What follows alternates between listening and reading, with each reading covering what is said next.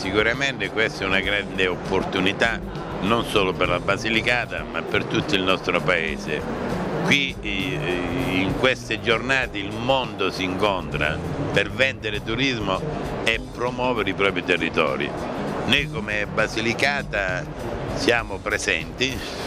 sono tantissimi gli operatori nostri qui presenti sul territorio a partire dalla costa ionica, una costa così importante per noi, a partire dalla città di Matera,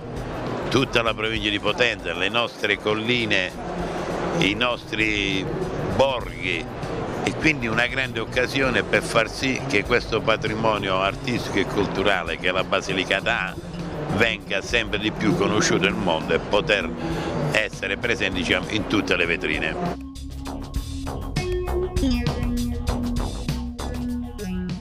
Penso che noi in Basilicata, per quanto riguarda proprio le politiche ambientali, eh, è una regione che sta diventando sempre più green. È importantissimo perché i nostri prodotti agroalimentari insieme all'ambiente sono prodotti diciamo, d'eccellenza che sono riconosciuti in tutto il mondo.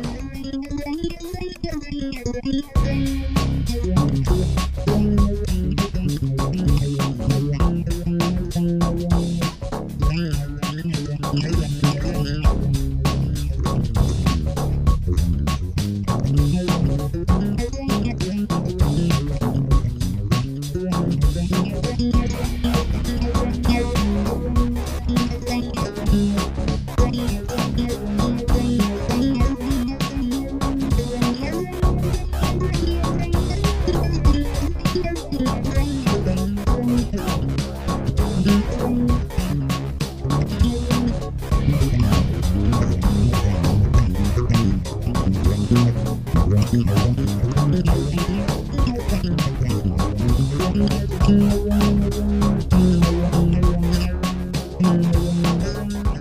Basilicata agricola, i prodotti di alta qualità enogastronomici, la Basilicata è un'esperienza meravigliosa anche per i prodotti, per l'accoglienza nelle nostre eh, cantine, negli, nei produttori di olio, nei frantoi, quindi siamo davvero felici eh, del successo che stiamo riscontrando di questa Basilicata tutta basata sulla natura e sull'autentica genuinità.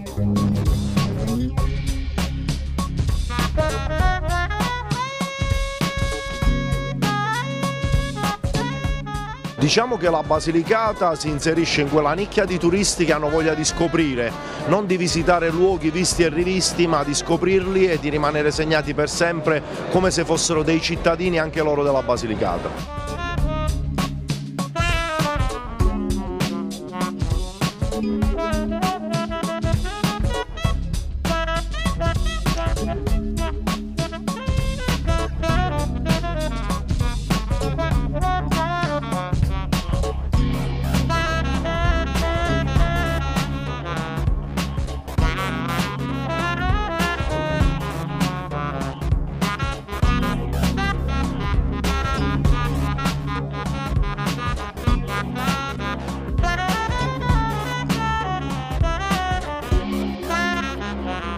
Noi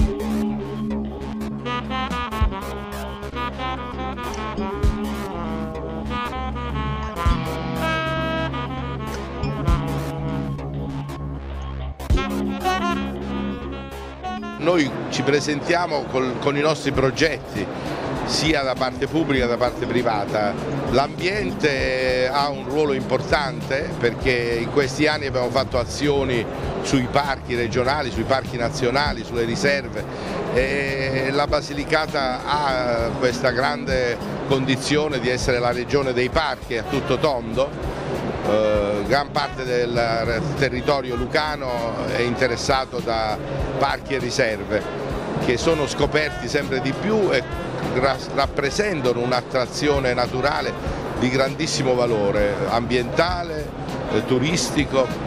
E quindi questi sono luoghi in cui questa caratteristica della Basilicata viene ulteriormente sottolineata, potenziata, devo dire ammirata sia dagli operatori pubblici in generale, ieri abbiamo avuto la visita del Ministro del Turismo, ma anche dagli operatori privati, grandi player che si occupano di organizzare l'offerta alla domanda turistica. E poi c'è un altro grande tema, sempre di natura ambientale, che fa lo specifico della Basilicata e sono i borghi lucani, che rappresentano un'offerta straordinaria, singolare, i borghi con il paesaggio sono per la Basilicata una risorsa importantissima su cui la Giunta Bardi ha molto investito per rigenerare decine di borghi lucani da Liano a Irsina, da Irsina a Rotonda, da Rotonda a San Severino, a Latronico, a Colobraro, a Novasini, per citarne alcuni. E i grandi progetti di sviluppo territoriale anche sull'archeologia come il progetto Magna Grecia, oggi presenteremo la costa ionica che è un distretto culturale, archeologico e turistico di prima grandezza. Quindi insieme a tutta questa eh, bellezza c'è ovviamente l'iniziativa di decine di privati, di operatori turistici che sanno promuovere il territorio insieme alla loro offerta turistica.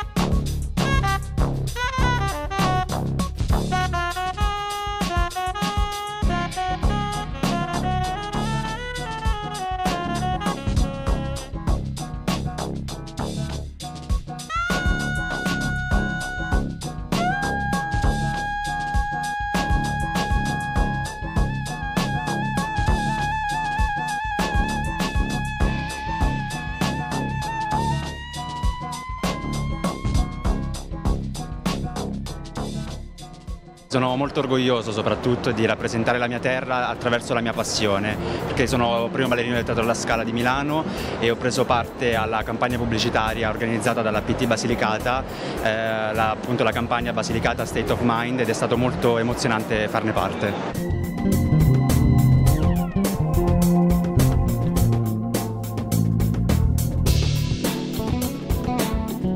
Io sono andato fuori perché ovviamente per quanto riguarda la mia carriera, mio, la mia professione, ovviamente ho ambito al meglio in Italia, appunto al Teatro alla Scala, però chiaramente tornare ogni volta che torno, io per esempio in Basilicata la prendo appunto come una vacanza, appunto c'è la mia famiglia tutto, quindi è sempre una grande emozione eh, vivere qualcosa di eh, ancora incontaminato, per cui eh, consiglio a tutti di andare in Basilicata.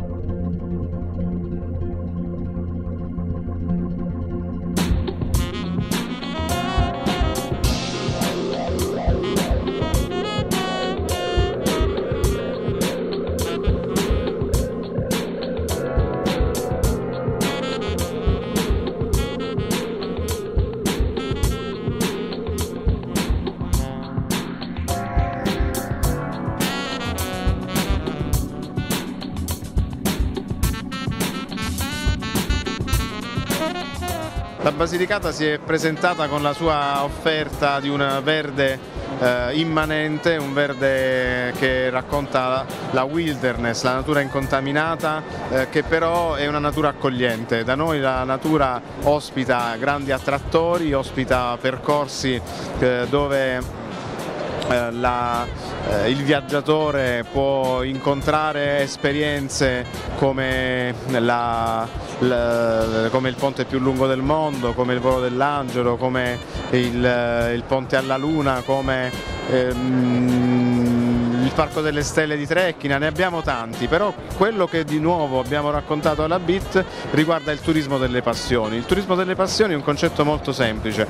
Qual è la motivazione più forte della nostra vita, quella che è più collegata direttamente alle emozioni? Eh, la passione, qualcosa che ci, che ci riempie il cuore e su queste cose che riempiono il cuore e sugli appassionati che stiamo individuando in giro per la Basilicata noi stiamo costruendo un'offerta che, che, ci deve contraddistinguere eh, nel mondo del viaggio. La, raccontiamo alcune tematiche, l'astronomia e l'astroturismo, raccontiamo le erbe spontanee, le fioriture, i bagni di foresta, raccontiamo la ceramica, il vino, il, la bicicletta, le auto d'epoca, sono tutte tematiche che loro, alle loro spalle, eh, anzi direi ai loro piedi, hanno eh, le gambe solide di chi queste passioni le ha coltivate, le ha studiate e ne ha fatto un motivo di vita. Avendo queste persone in Basilicata nella volontà di condividere queste loro esperienze con i viaggiatori, questo è un punto di forza che ci consente